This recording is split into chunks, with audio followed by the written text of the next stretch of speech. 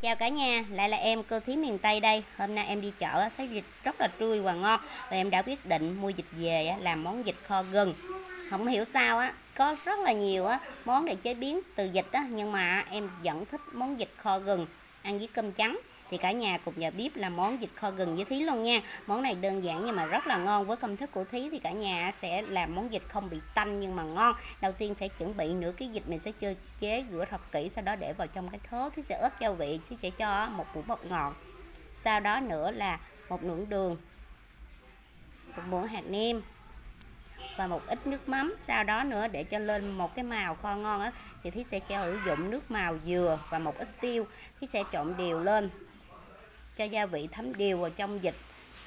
khi trộn đều rồi thì sẽ để trong vòng 20 phút. 20 phút sau á khi dịch đã thấm rồi thì bắt chảo lên cho dầu vào.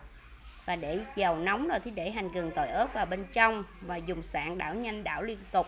Để cho hành gừng tỏi ớt vàng thơm rồi á, thì mình sẽ tiếp tục á, để dịch vào. Và lúc này sẽ dùng sạn đảo nhanh đảo liên tục để cho dịch mình nó sẽ không có khép và dịch nó sẽ săn chắc lại. Khi mà dịch săn chắc lại rồi, nước cạn sệt sệt á như thế này là được rồi nè cả nhà.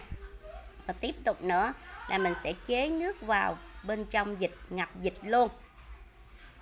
Khi chế nước vào rồi thì mình để vào bên trong mấy trái ớt, khô và mình sẽ đậy nắp lại, mình sẽ đun với rửa dưa riêu trong vòng 20 phút để cho nó dịch thấm vào nước sắc xuống á.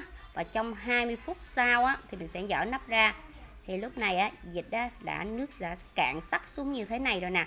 Và mình sẽ dùng sạn, mình sẽ đảo nhanh để cái nước sốt á, nó cạn xuống, nó thấm đều vào bên trong dịch cái lớp trên mà chưa có thấm á.